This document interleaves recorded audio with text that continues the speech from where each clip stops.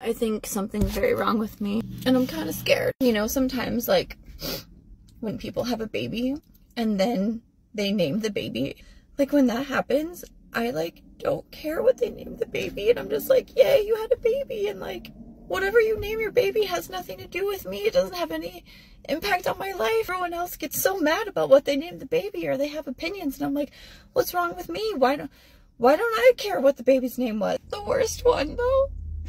Like the worst one is when I see people like doing their makeup.